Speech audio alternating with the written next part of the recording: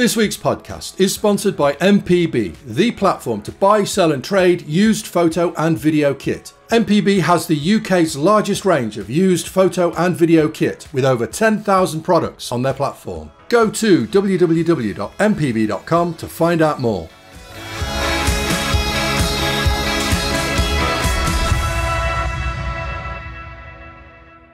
Hello, and welcome to the AV Forums podcast for Monday, the 12th of September 2022. And this is not the normal podcast. This is a pre recorded podcast as the team is currently on holiday at the moment. Uh, the normal podcast will return on the 26th of September, along with the movies podcast. So don't hang around for the movies podcast this week. It's not here. It'll return on the 26th, along with the normal AV podcast. In this episode, I want to get to know the TV company TCL a little bit better. I've just received uh, one of their TVs for review, which is behind me. That's the C735. And we're also going to look at two more TVs um, in the next few weeks. So, to navigate my way around the models for 2022 and a regular on AV forums, if you uh, watch our videos from CES and uh, IFA and other events, uh, you'll know the person who's on the podcast with me. Say hello to Marek Maciejewski. Now, I always get your surname wrong, so apologies if I did that on this occasion. Uh, but welcome uh, It's not easy. well, not when you've got a Scottish accent as well. It all goes all over the place, really. So, um, Marek, you're the product development uh, director for Europe. Is that correct? Yes, I am product development director for Europe uh, at TCL. Excellent. So, we're going to start tonight. We're going to go through uh, the TCL range. Basically, we're going to have a conversation. Uh, we're not going to deep dive too much in this episode. Um, we're going to cover all the features of the TVs. Uh, we're going to cover everything about the models um, coming to the UK and Europe this year. Uh, we're going to save the deep dive for a future podcast, probably in the next six to eight weeks. Uh, we'll come back. We'll also ask you uh, to ask you questions. You know, what do you want to know about TCL? What do you want to know about the technologies? I should also have reviewed the TVs uh, by that point, so we'll have a, a much better understanding of the models by then, and uh, we'll deep dive and get really technical on that podcast. In this podcast, Marek, I just really want to go through uh, the lineup um, for this year, but perhaps there are people out there who are still not familiar uh, with TCL and how big the company is. So maybe you could start by telling us a little bit about TCL. Uh, TCL is uh, on the market since uh, I think uh, 40 years uh, already. In Europe, we are present since 2007 directly as TCL. As of today, we have 120,000 employees on a worldwide basis. Uh, we uh, very quickly develop uh, in Europe. Uh, we develop uh, in UK. Uh, you'll see our products more and more. we are number one, number two in USA. So here in US, we already um, achieved significant market presence. And in Europe, market by market, it depends. In France, we are uh, much uh, above, I think, 12 or 13% uh, market share. On other markets, we quickly grow. In TCL, we do TVs, we do audio products, we do IoT products. We do also white goods and air conditioning. Uh, air conditioning. So uh, all product categories you can have today uh, at home. Now, do you buy products in and make the TVs, or is everything manufactured by TCL? Uh, the principle of uh, TCL success is vertical integration. Vertical integration for us means that uh, every key components uh, which are used in our products are manufactured by us. So for TVs, we manufacture panels, and as this is a key component, and all technologies which are around panels to make the TV. And the same logic uh, we apply for all other product categories. So we don't we are not ODM. Uh, we uh, fully develop uh, master technologies, produce all key core components, and make products. And when that comes to the insides of the TVs, such as HDMI 2.1 compatibility on the silicon and so on, is is that under your control or is that third party? Well, uh, if you look on silicon or on chipset, so then there is always uh, debate on uh, using uh, or developing uh, chipsets. And I think still in this area we can find very good chipset suppliers on the market and uh, for the for the time being, uh, all our products uh, are based on chipsets provided by silicon suppliers, same as uh, other A brands, because whatever product you will open and go deeply inside, you will see that uh, usually there are three major chipset suppliers which are used by TV vendors. Now, uh, some of the users out there, some of the AV Forums members will be uh, aware of TCL. Um, they will have seen your sets uh, launched at events like I say CES and, and IFA in the past and so on. One criticism, Marek, that has been raised in the past, and I'm wondering if you can maybe tell us the reasoning, is uh, differences between regions. Um, the US is different to the UK, is different to Europe. Why are there differences between the different areas when it comes to well basically what should be the same tv uh, when you look on the market uh, let's say uh, you talk about tv so generally all tvs we do are uh, kind of modular design and uh, then uh, if you all the details and product you will see that picture quality specification many specifications are very similar or the same uh, design might be a bit different because uh, there are markets like US where uh, products are sold without soundbar, built-in soundbar, and markets like Europe where built-in soundbar in uh, some markets is a key benefit for product. Uh, then you come to the standards uh, which are on the market and the way how products are operated and also market share of operating systems. And then this one makes the difference as we use uh, different platforms to drive these products. But uh, if we go from my perspective and look on these products for different markets, you will see that there are many similarities. There is different naming, uh, different naming in US comes from the fact that uh, this uh, naming was applied for the market and is used since a long time. for all other areas except China, we have uh, unified naming.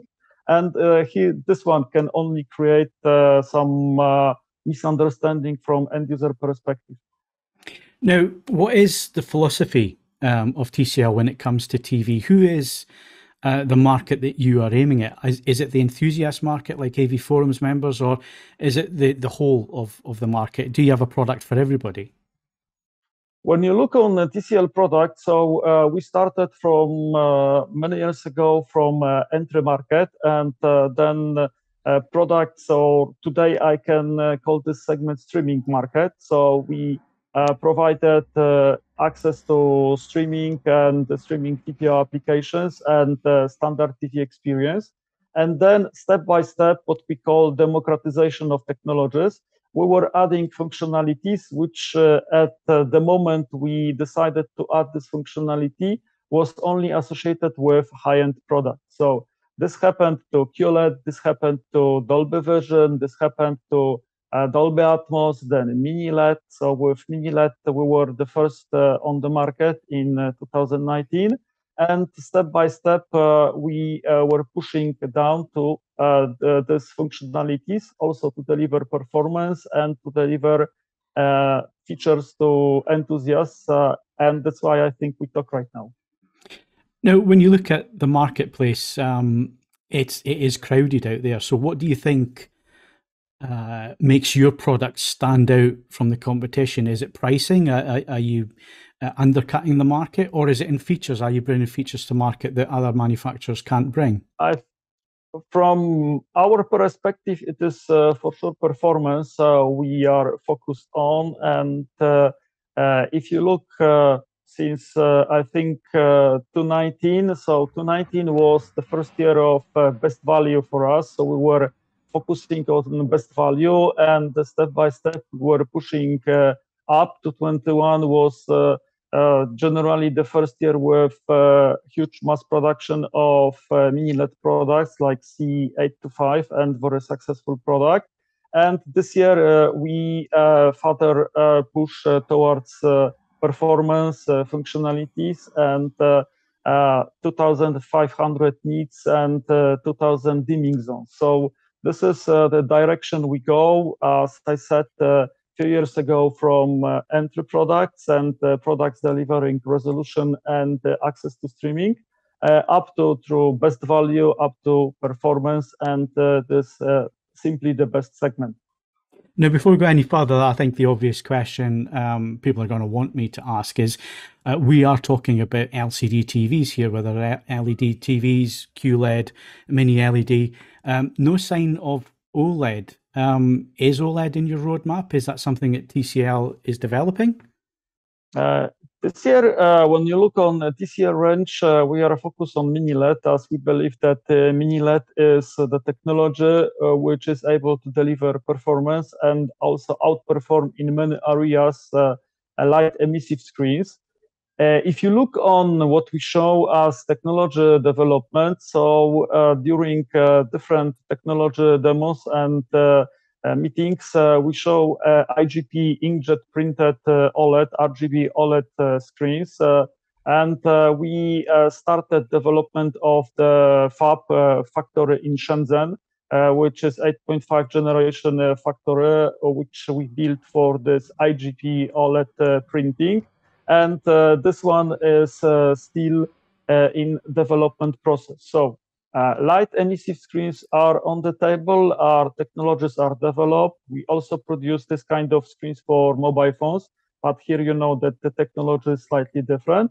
But technology is uh, mastered, but today is very difficult to answer uh, when exactly we will introduce this kind of products to the market. Excellent. So that's something that we can certainly keep an eye on um, as the things progress. So let's wind back to this year, let's have a look at some of the, the models that you are releasing in the UK and uh, find out a little bit more about them. Now, Marek, my understanding is that the uh, the C series is is the top line for your um, LCD TVs this year, some mini LED and QLED TVs. So maybe we start there. Maybe you can tell us a little bit about your flagship model this year. This year, our flagship uh, range is uh, C935. This is this uh, TV set is uh, made uh, is using uh, mini LED uh, technology.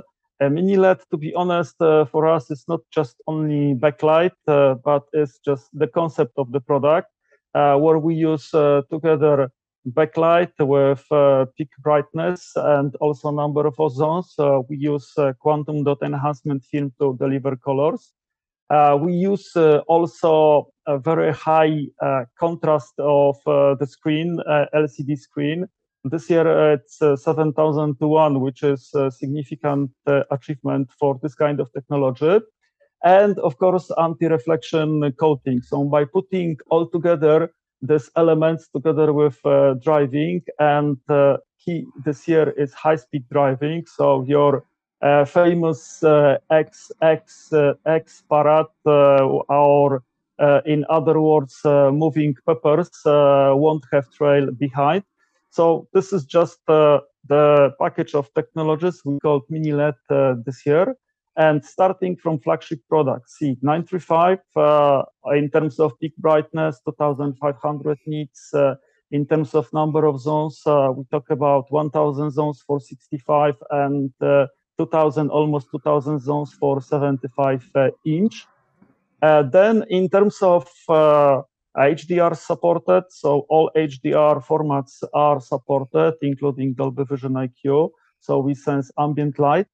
Uh, then in terms of upscaling, uh, here we talk about artificial intelligence, uh, deep learning, super resolution, uh, which help us uh, to achieve uh, excellent upscaling effects and also uh, the contour. Uh, so you won't see any steps or, or gradual uh, gradual steps uh, on the screen. And then, of course, uh, here at this level, we talk about 144 hertz, up to 144 hertz for HDMI input. And in terms of motion, which is coming from any other content, the blur, the judder up to 120 hertz. So this is just uh, the picture specification of this uh, uh, flagship product.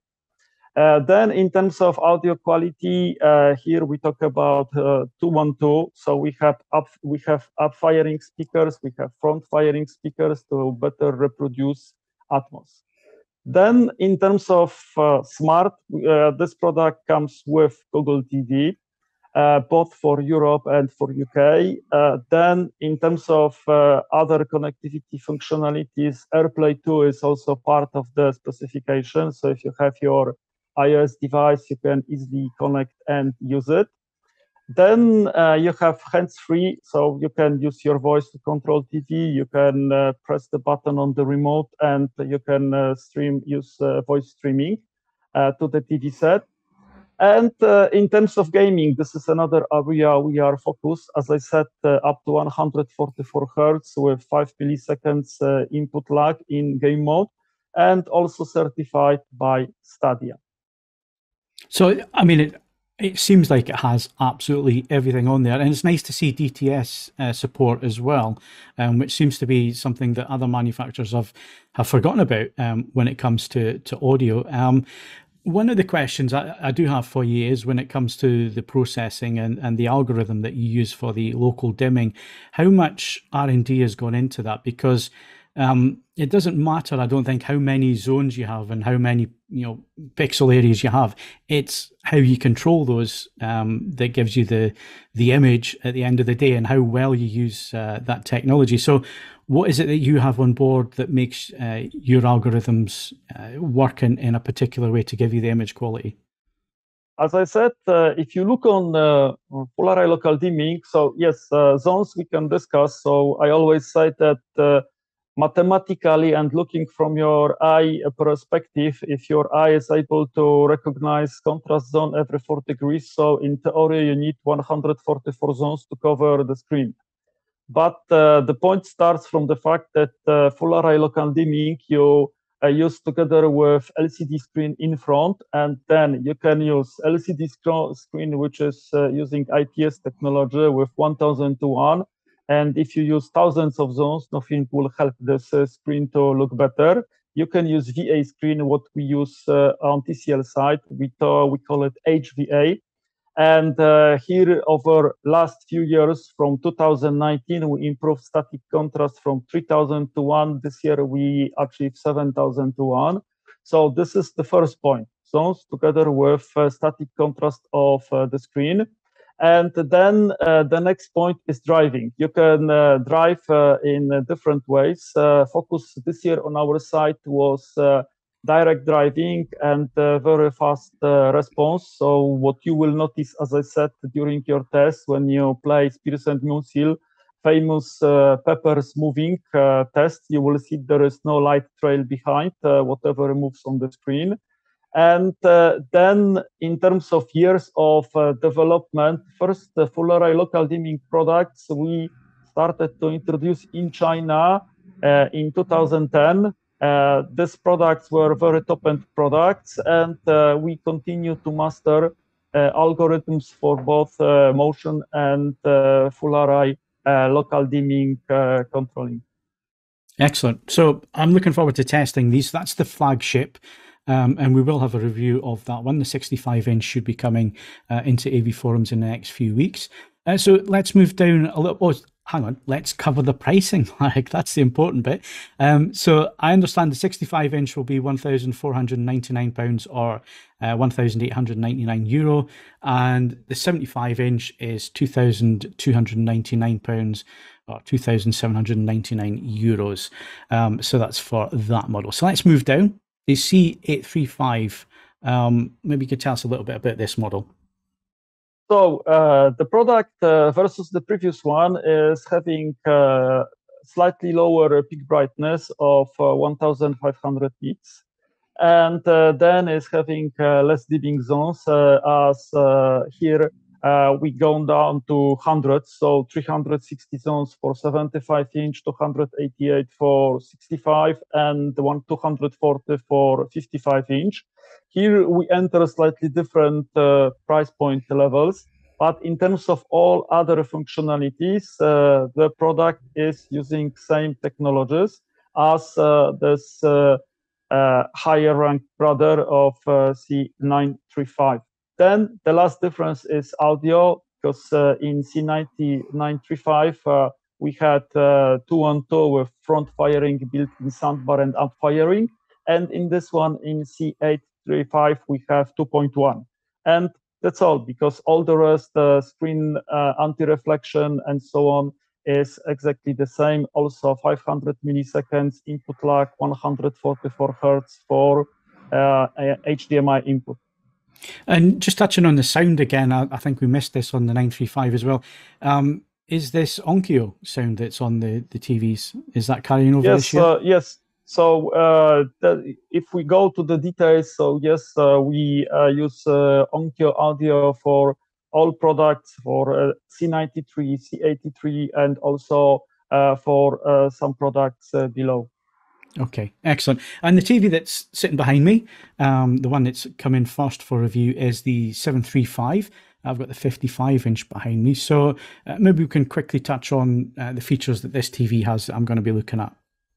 Uh, so the product you have behind you, C735, uh, here we covered uh, wide uh, number of sizes starting from 98 through 85, 75, 65, 55 all these products are uh, with uh, 120 hertz. Uh, even 98 is with almost 200 dimming zones, as we said that the screen is too large to be a global uh, dimming uh, screen. All other sizes are global dimming. So here is the first difference.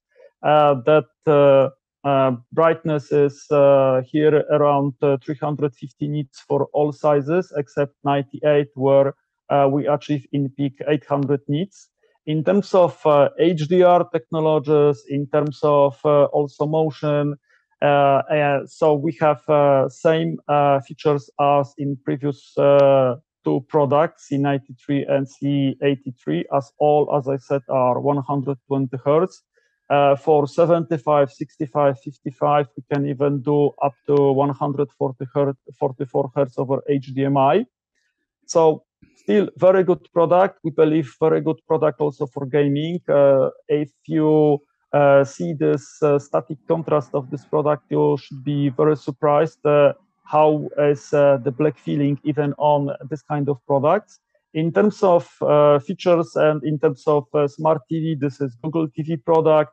As I said, with also with AirPlay 2, so and Chromecast, so whatever mobile device you have, you can connect to this screen. And uh, as I also said, C93, C83, C73, uh, Google TV for Europe and also for UK. And you said it's uh, it's global uh, dimming on this TV, so not local dimming. Um, but it is 55 inch coming in at 600 pounds. So was that a consideration as, as to why this set is global dimming uh, rather than local dimming? Uh, this at this price point, uh, we uh, believe that uh, this is uh, a very good uh, proposal. Uh, as I said, uh, knowing uh, static contrast of the screen, seven thousand to one, and then there is still you see the gap, clear gap between 55 C735 and C835. And then we will see next year if we need one more product in between but you know perfectly that uh, local dimming uh, makes sense uh, above 100 zones. Below 100 zones, uh, effect is almost not visible. Uh, so just to do local dimming for 100 zones or even less zones to call it local dimming without visible effects on the screen, for us it doesn't make sense. Yeah. Okay. Uh, and of course, uh, screen sizes like you say 55, 65, 75, 85, and 98. Uh, that is huge. Um, but again, four thousand pounds for a ninety-eight inch screen. Um, you really are pushing the boundaries there when it comes to real estate. And we believe, you know, honestly, that uh, you can, if you look on this product, as I said, this the difference in 98 is that uh, we have 200 dimming zones and uh, 800 nits of uh, peak brightness.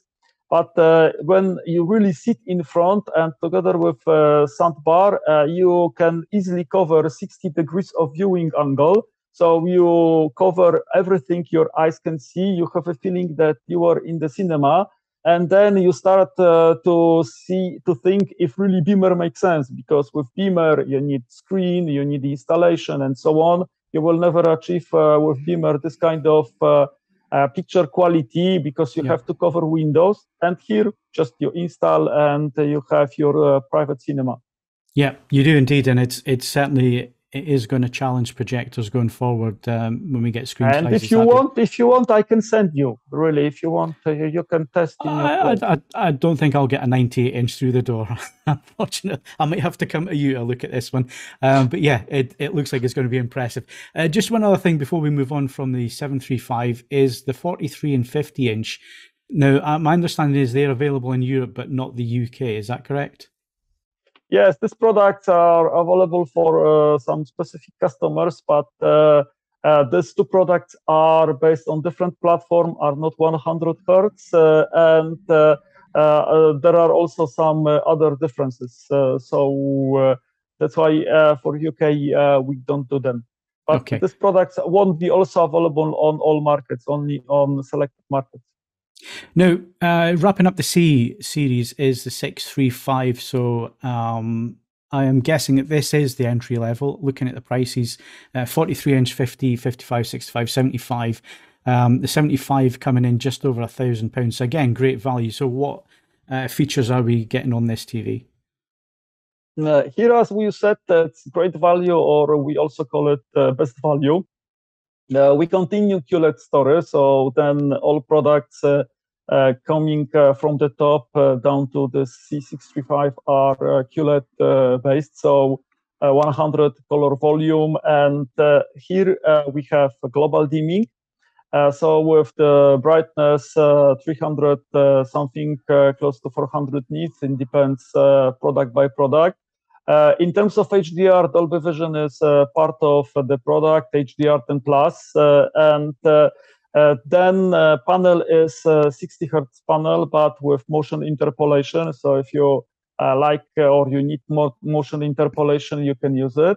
Atmos and uh, 2.0 Onkyo downfiring is also on board. And then we have two versions. One version is for Europe, which is Google TV. Another version is for UK, which is Android TV together with Freeview Play.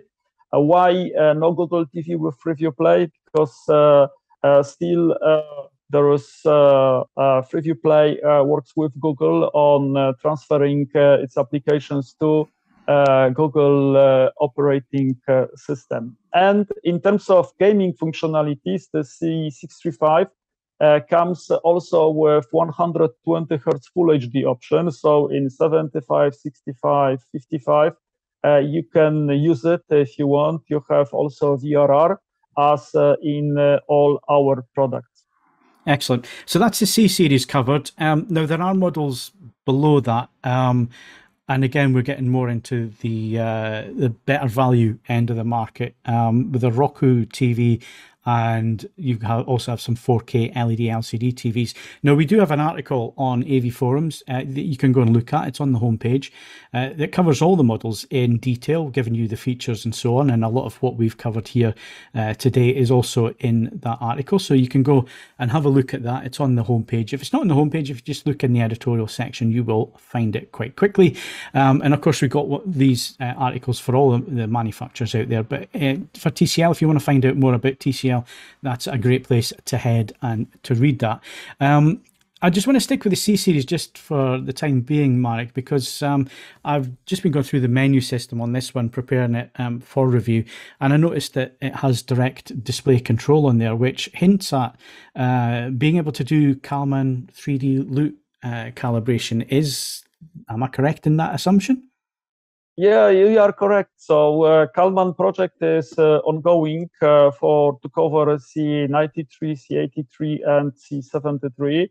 Uh, for uh, Calman project, uh, we uh, want to provide complete calibration solution. So starting from HDR, sorry, SDR, HDR10, HDR10 Plus, Dolby Vision, and HLG Uh, for 1D and 3D LUT. Project, I think, uh, is uh, almost uh, finished uh, with final certification to be done by Portrait. But once it will be done, we will provide you software update because in the software you have not all functionalities. I think 3D LUT might still face some issues. and then we will be able to discuss again because uh, then it's a kind of PhD story. You can uh, describe a lot uh, about uh, implementing Calman and how you think it works and how at the end at the end you do it because the project is fully managed by one of my engineers in Europe. Okay, excellent. Well, I'm, I'm looking forward to uh, that project being ready to test, and and of course, it's great to see this functionality um, being available on TVs even even at these price points. Now, the final question I do have for you is filmmaker mode. Uh, I do notice that your TVs don't have the filmmaker mode. Is this something that uh, TCL will get involved with? Because I think it's been a great success across the whole industry. Um, lots of manufacturers have picked up on on having filmmaker mode, which is a, an easy one button press for the end user. Is it something that you're considering? Uh, this one we discussed, and uh, we had uh, very advanced discussion with uh, our US uh, colleagues uh, on it to do or not to do filmmaker mode.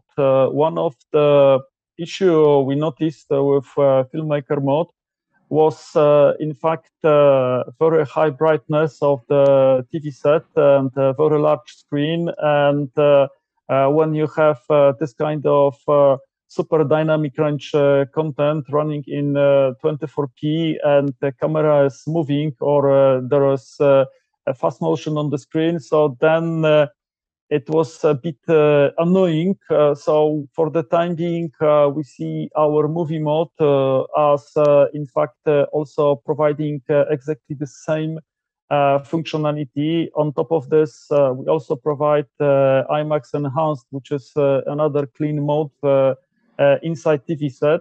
So uh, for the time being, uh, filmmaker mode is being discussed, but it's not something which on which I can commit will come as a sort of software update. Okay. Well, I think uh, in general terms, I think we've learned a lot uh, in this podcast about TCL. Thank you very much, Marek, for coming along and explaining it. Like I say, uh, we will have a follow up to this. So if you've got any questions um, for Marek about uh, TCL models, about technology, about what might be coming down the line in the years ahead, anything really, um, then do send them in. It's podcast at avforums.com. Uh, email probably will be the best because that'll be the easiest for us to collate for a future podcast. But you can also leave your questions under this podcast in the podcast forum at AV Forums. You'll find that in the forum list. Move right down to the bottom and it's just above the feedback forum at the bottom of the page. Uh, go in there, find this episode of the podcast and leave your questions in there.